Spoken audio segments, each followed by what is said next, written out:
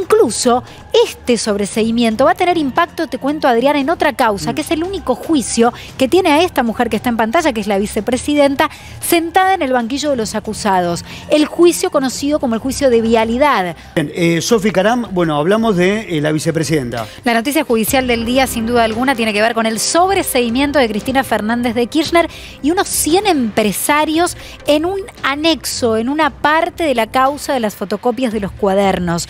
Es la causa conocida como de cartelización de la obra pública, que nace a partir de la declaración de quién, adivina, de un imputado colaborador, de un arrepentido, de uno de los arrepentidos presionados por el entonces juez Claudio Bonadío y el fiscal Carlos Estornelli. Un tramo de la causa de las fotocopias de los cuadernos que estaba en manos del juez Julián Ercolini, que no había sido elevado a juicio oral y en el que hoy, en primera instancia, el juez Ercolini asegura no hay pruebas no hay elementos suficientes para determinar la responsabilidad de los y las imputadas en las presuntas maniobras. Sofía, recuerdo un episodio, y creo que vos también lo, lo has mencionado eh, varias veces, era el momento donde Stornelli decía, ¿no? Entre comillas, si hablas de Cristina, te vas a tu casa, le dice a los empresarios. La sortija, ¿no? Y apúrense porque no hay sortija para todos. En este caso, un financista, Ernesto Clarence, que trabajó con los Kirchner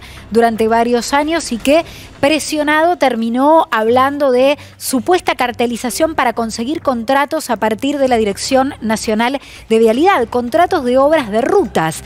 Incluso este sobreseimiento va a tener impacto, te cuento Adrián, en otra causa, que es el único juicio que tiene a esta mujer que está en pantalla, que es la vicepresidenta, sentada en el banquillo de los acusados. El juicio conocido como el juicio de vialidad por el presunto direccionamiento de la obra pública en la provincia de Santa Cruz, que tiene un peritaje flojísimo de papeles que te lo voy a contar en un ratito, pero además que fue que tuvo un intento de la fiscalía de introducir aquella declaración como arrepentido de Clarence, que hoy también se cayó a pedazos, un arrepentido que no dijo más que lo que Stornelli y Bonadío Bien. querían escuchar y cuyos dichos no se contrastaron con la prueba, por lo tanto, hoy 100 empresarios y Cristina Kirchner y otros exfuncionarios sobreseídos. Bueno,